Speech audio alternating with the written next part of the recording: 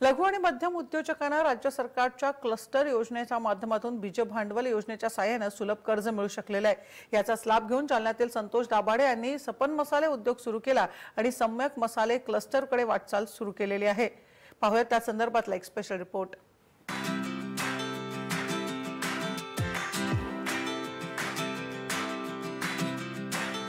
प्रधानमंत्री नरेंद्र मोदी आणि मुख्यमंत्री देवेंद्र फडणवीस सरकारच्या क्लस्टर योजनेच्या माध्यमातून बीज भांडवल योजनेअंतर्गत पाच लाख रुपये कर्ज घेऊन संतोष दाभाडे यांनी जालन्यात सपना मसाले गृह उद्योग सुरू केला. अल्पावधीतच त्यांनी व्यवसायामध्ये जम बसवत सम्यक मसाले क्लस्टरकडे वाटचाल सुरू केली आहे. आज या क्लस्टरमध्ये आमच्याकडे चौतीस मेंबर आहेत.